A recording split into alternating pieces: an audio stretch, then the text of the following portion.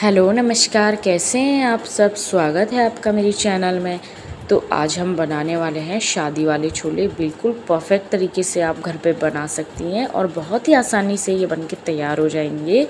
छोले खाने में बहुत टेस्टी लगते हैं, लेकिन शादी वाले छोले घर पे नहीं बन पाते हैं। तो मैं आज आपको बहुत ही आसान तरीका और परफेक्ट तरीका बताऊँगी, जिससे कि आपके छोले बहुत टेस्टी बनेंगे। तो देखिए, सबसे पहले हमने यहाँ पे छोले ले लिए इन्हें हमने पूरी रात पानी में भिगो दिया था। अगर आपको थोड़ा जल्दी है तो आप पाँच छः घंटे पहले आप भिगो दें गुनगुने पानी में तो भी अच्छे से फूल जाते हैं। उसके बाद देखिए, हम यहाँ पे सफ़ेद रंग का सूती का कपड़ा ले लेंगे, क्योंकि हम छोले को उबालेंगे और उसमें हम मसाले की पोटली बना लेंगे। तो दो चम्मच हम यहाँ पर डाल लेंगे चाय की पत्ती। एक बड़ा सूखा आंवला हम यहाँ पर डाल लेते हैं। दो काली मिर्च डाल लेंगे और एक लौंग डाल लेंगे। थोड़ा गर्मियों का मौसम है, इसलिए खड़े मसाले मैंने थोड़ा कम ही डालें अगर सर्दियों का है तो थोड़ा लौंग, काली काली मिर्च आप ज़्यादा डाल सकते हैं। एक बड़ी इलायची डाल लेंगे और एक इंच दालचीनी का टुकड़ा। और दो हरी इलायची हम यहाँ पर डाल लेंगे। उसके बाद हम इसकी एक पोटली तैयार कर लेंगे और इसे अच्छे से बाँध लेंगे। तो देखिए, कुकर में हमने छोले रख दिए हैं यहाँ पे। अब इसमें हम पानी डाल लेंगे। बहुत ज़्यादा पानी आपको नहीं डालना है। मैंने यहाँ पे आधा किलो छोले लिए हैं 500 ग्राम। इतना पानी डालेंगे जितने की छोले उसमें अच्छे से डूब जाए। तो बस इतना ही पानी हमें डालना है। उसके बाद हम हम यहाँ पे मसाले वाली पोटली डाल लेते हैं। मूंग पोटली को आप अच्छे से बाँध लें। अब हम यहाँ पे डाल लेते हैं एक तेज पत्ता। इससे छोलों में बहुत अच्छी खुशबू आएगी खड़े मसालों के अंदर तक मसालों की खुशबू चली जाएगी और एक चम्मच हम यहाँ पर नमक डाल लेते हैं। और दो आलू को मैंने अच्छे से धोकर का छील लिया है। आलू को आपको दो साबुत ऐसे ही डालना है, उसके बाद हम इसका ढक्कन लगा लेंगे।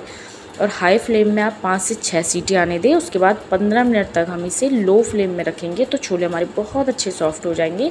तो जब तक छोले उबल रहे हैं, तब तक हम यहाँ पे तड़के की तैयारी कर लेते हो तो गैस पे हमने यहाँ पे कढ़ाई रख ली है। कढ़ाई में हम एक बड़ा चम्मच यहाँ पे तेल डाल लेंगे और दो तीन छोटी चम्मच हम यहाँ पे डाल लेंगे देसी घी। तो देसी घी आप ज़रूर डालें, इससे छोले में बहुत अच्छा टेस्ट आता है। एक चम्मच हम यहाँ पे डाल लेंगे जीरा और आधा छोटी चम्मच हम यहाँ पे डाल लेंगे अजवाइन, आप ज़रूर डालें। टेस्ट भी अच्छा होगा और साथ ही साथ डाइजेस्ट के लिए भी बहुत अच्छी होती है। और दो बड़े साइज़ की प्याज को मैंने बारीक काट लिया था और प्याज को हम अच्छे से हम इसमें ब्राउन कर लेंगे। एक चम्मच हम यहाँ पे लहसुन अदरक का पेस्ट ले लेते हैं। इसमें अदरक ज़्यादा होगा और लहसुन थोड़ा आप कम ही डालें। आधा छोटी चम्मच ऊपर से नमक डाल लेते हैं। इससे प्याज जल्दी पक जाता है। उसके बाद दो चम्मच हम यहाँ पे डाल लेंगे अनारदाना पाउडर। तो अनारदाना आप ज़रूर डालें, इससे छोले काले तो बनेंगे ही। छोले में बहुत अच्छा टेस्ट आता है तो आप अनारदाना डालना बिल्कुल ना भूलें। और हमने सूखा आंवला भी डाला है, उससे भी छोले का कलर बहुत अच्छा आएगा काला, और साथ ही साथ उसमें हल्का सा खट्टापन भी आएगा। एक चम्मच हम यहाँ पे डाल लेते हैं हरी मिर्ची का पेस्ट आप चाहे तो हरी मिर्ची को बारीक काट कर भी डाल सकते हैं। और गैस की फ्लेम को आप यहाँ पे बिल्कुल लो ही रखेंगे। अगर प्याज जलने लगे तो बीच में हल्का हल्का एक दो छोटी चम्मच आप पानी डाल सकते हैं। उसके बाद हमने यहाँ पे एक बोल डाल दिया टमाटर, ताज़े टमाटर की प्यूरी और एक चम्मच ऊपर से नमक हम और डाल लेंगे। आधी छोटी चम्मच हम डाल लेंगे देगी मिर्च, एक छोटी चम्मच हम डालेंगे हल्दी पाउडर और दो चम्मच हम यहाँ पे धनिया पाउडर डालेंगे। धनिया पाउडर थोड़ा ज़्यादा ही डलता है और मसालों के मुकाबले। और एक चम्मच हम यहाँ पे डाल लेंगे जीरा पाउडर। उसके बाद इन्हें अच्छे से हम मिक्स कर लेंगे। थोड़ा सा ऊपर से आप यहाँ पे कसूरी मेथी ज़रूर डालें। कसूरी मेथी छोले में थोड़ा ज़्यादा डलती है और इसका टेस्ट बहुत अच्छा आता है छोले में।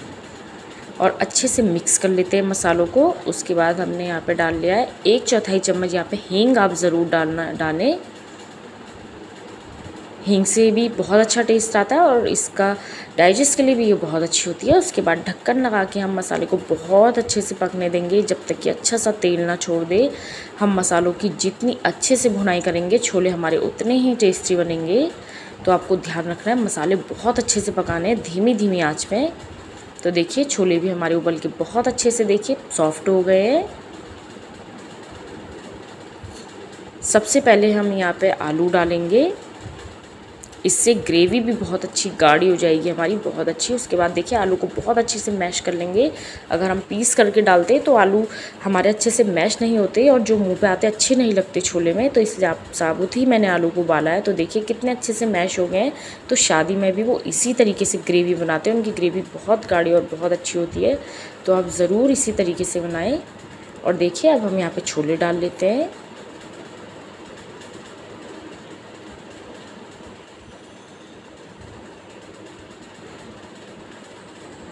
तो देखिए, सारे छोले मैंने यहाँ पे डाल लिए हैं।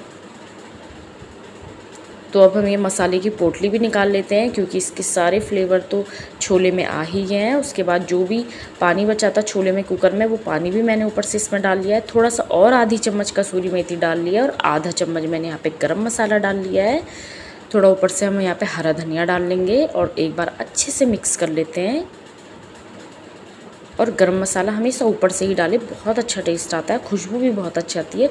उसके बाद ढक्कन लगा के कम से कम 20 से 25 मिनट के लिए बिल्कुल लो फ्लेम में हम छोलों को पकाएँगे। छोले को हम जितनी धीमी धीमी आँच पे पकाते हैं, छोले उतने ही टेस्टी बनते हैं और अंदर तक इनमें मसालों का फ्लेवर चले जाता है। तो आप बिल्कुल यही तरीका अपनाएँ तो ही आपके छोले बिल्कुल परफेक्ट बनेंगे। तो देखिए गर्मा गर्म छोले हमारे बन के बिल्कुल तैयार हो गए। बहुत ही आसानी से आप ज़रूर बनाएँ। आप भटूरे के साथ खाएँ, आप चावल के साथ खा सकती है, पूरी के साथ खा सकती है, चपाती के साथ खा सकते हैं। बहुत ही टेस्टी लगते हैं। तो ये रही मेरी आज की रेसिपी। आपको कैसी लगी? आप मुझे ज़रूर बताइएगा। रेसिपी पसंद आई हो तो वीडियो को लाइक और चैनल को सब्सक्राइब और शेयर करना ना भूले। मैं मिलूँगी आपको अगली ही एक ऐसी नई रेसिपी के साथ। तब तक लिए बाय। Take care.